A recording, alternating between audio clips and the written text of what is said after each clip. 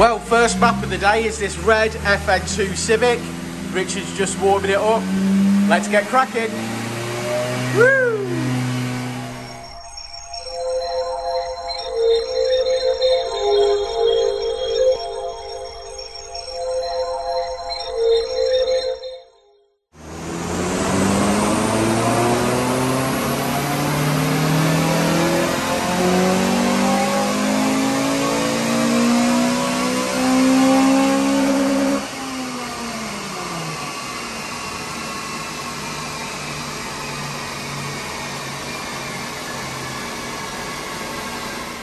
Okay, so initial power run done and it's made 211 brake horsepower. Now it's got some modifications. It's got this very warm HKS induction kit.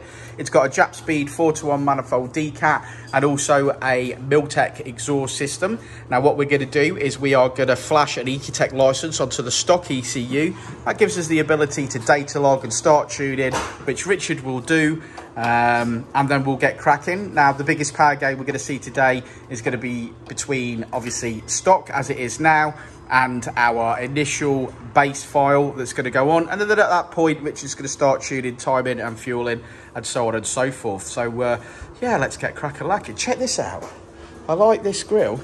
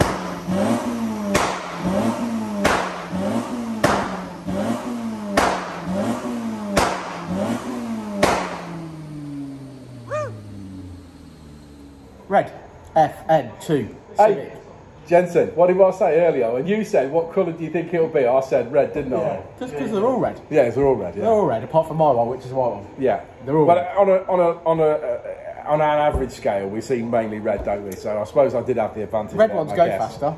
Do they? Yeah, I don't think they do. they do. You sure? Yeah. Oh, okay. Right, so this one, it had a 4 to 1 Jap Speed manifold. It has a HKS uh, exhaust system, which you know obviously No, no, no, don't no, think- no, no, no, no, no, No, sorry. HKS induction kit. Oh, sorry. HKS induction kit, get it right. It was a Milltek Milltek catback, catback. which is, as you know, is not our favourite. Twin exit, very small exit on it. Um, did what we expect us to do around the 215, 216 mark. To be That. HKS induction kit was hot before we even put it on the dyno. Yeah, I'd like to. I'm going to get one of them. I keep meaning to do it, and I haven't done it. So I'm going to order one of them uh, temperature probes, Oh, so you can yeah. see what the temperature is. They'd love and, that. And that, I'd like to see what the uh, Comment below, comment below in the, in the comment section that you want to see Richard with a thermometer up in. Uh, not up me. Oh, was that not what we were talking about? No, we were talking about Oh. measuring. I was talking about measuring the temperature. Oh, I got excited. Measuring the temperature of the induction kit as well. Yeah, was, well, uh, so it looks like Predator. Yeah, Yeah. that's what I was doing. So you can say that obviously this is really hot. This is hot. This one is not so hot. Yeah, I like it. a, a hot, a hot air induction kit. I like hot air. I want a hot air scoop. Yeah, Hong Kong hot air.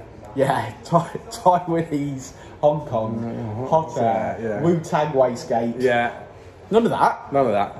Yes, so FN2 and um, started uh, started about 211, finished on 270. But as you know, uh, it's made gains in the mid range between 25 30 brake horsepower. Transformed this car, switchable maps, launch control, as you heard on the bit of video just before this bit.